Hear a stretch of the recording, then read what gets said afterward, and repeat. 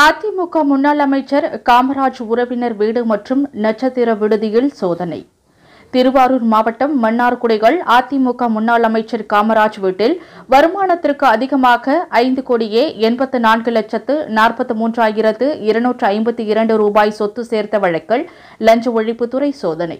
தமிழ்நாடு முழுவதும் காமராஜுக்கு சொந்தமான நாற்பத்தி ஒன்பது இடங்களில் சோதனை நடைபெற்று வருகிறது.